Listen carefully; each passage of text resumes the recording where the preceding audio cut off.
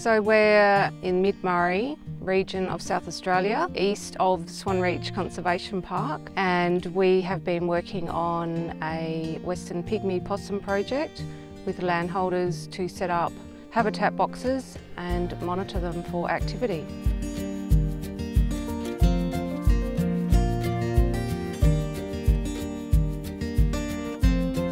It's pretty cute.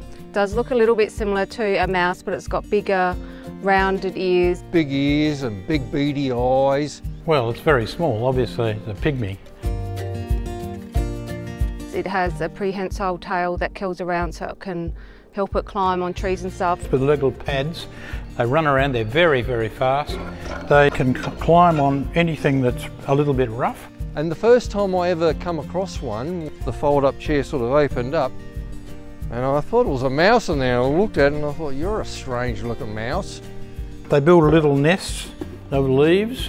They clean the nests out as well. They actually remove the leaves uh, and they bring new and fresh leaves in. But that night I was watching TV on a current affair program and they were talking about pygmy possums and I thought, my God, that's what I've seen.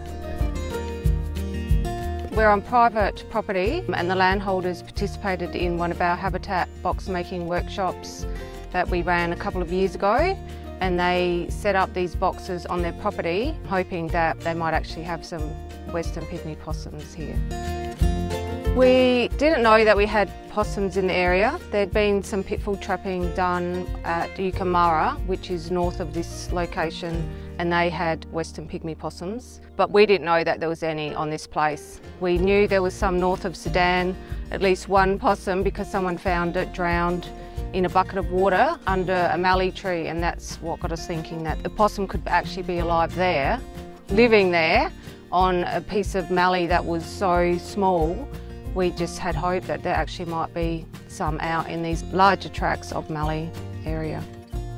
The western pygmy possums they love nectar. So it was always thought that they move where there's the floral resources. So mallee when it's flowering and other things that they'll move for that. With these boxes though, we've found that they actually stay in these boxes and they bring leaves in and build a nest inside the boxes and they bring fresh leaves in and like replace them and then pile more in and some of these boxes now like are almost up to the opening with leaves and they're just breeding in there like and obviously when um, they have young ones, you know, like the leaves are right up over them, to, over them like a cocoon.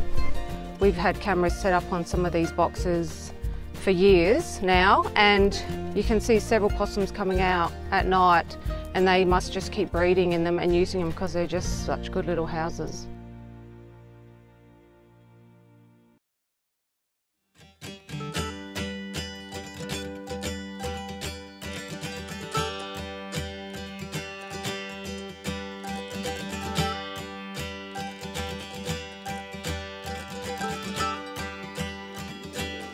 We thought, well, this might be a new project that we could get started with, support landholders, engage them and get them actively doing something on their properties, you know, hoping to provide habitat for these creatures that we thought may be out here. So we started doing some habitat box workshops with them. Maybe 20 people together will make 40 boxes and it'll take around about an hour and a half to two hours and that's it, finished they'll have a, a, discussion about the pygmy possum either before or after the, the, exercise. We've got a tin lid, so the box is made out of like pine, like really thick pine.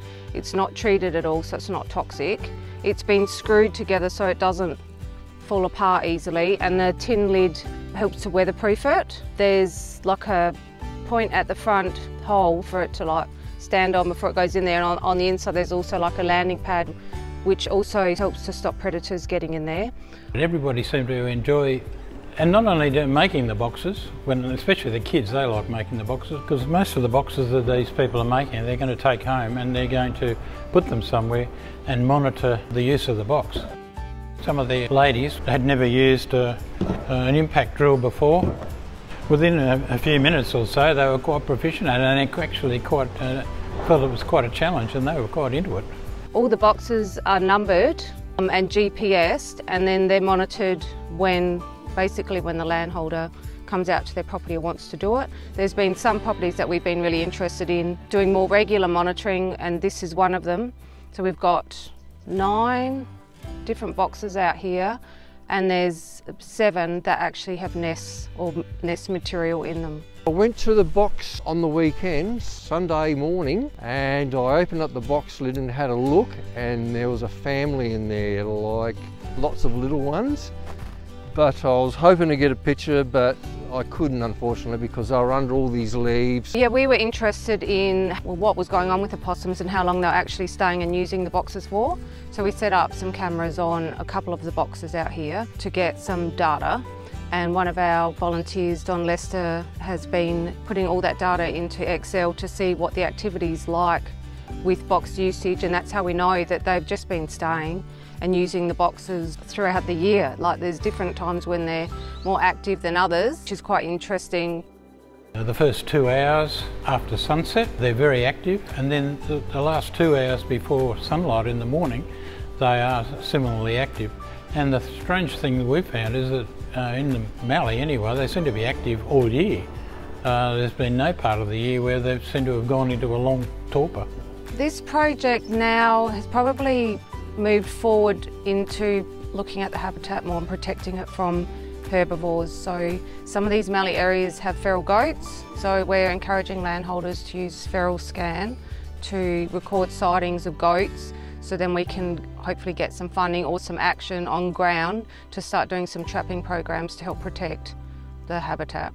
So we ran several different box making workshops over the last few years and the first ones we did were like at Milendella and the landholders essentially took their boxes home to wherever they were and we we didn't really have a good record of that. And then there was like more interest in the project from the SA Museum and we teamed up with the Waterhouse Club and we did several box workshops with them and because they were essentially doing it to support the project and not just take them back to their own properties, we ended up having boxes put up at places like Moorunde Wildlife Reserve. So I think there's about 20 boxes that went out there. Made a, a box making workshop at Calperum with Waterhouse and they went to an island near Chowilla. And we also did a box workshop with them up at Burra and then we put the boxes on two private land properties in the Tothill Ranges. Through the box workshops we've just got boxes bred all over the state. I mean, even as far as Hiltaba and down at Marion Bay, and some people even took them to Victoria. They do use the boxes. They're not really expensive boxes, and they will last quite a large, you know, quite a number of years as well. This project's really helped us to learn a bit more about the possums and their spread, like where they are, and the fact that they actually keep using the boxes, like they live in them, they keep breeding in them. So some people think ha habitat boxes are not worth it, like we're better off, when we are, we're better off protecting the habitat, but often these places don't, don't provide that essential home. Like if they're able to keep breeding in these, we're helping the populations, you know. We had that too with the Bat Box project, like we set boxes up places where there was so many good hollows that you'd think a bat wouldn't even use the box at all, but they do. They use them, they breed in them, they might last for 10 years and then they might disintegrate, but you've still added to that population. That makes me feel good inside actually, to have all these animals living out there, you know, like pygmy possums and mallee fowl. And I feel good about doing things for nature.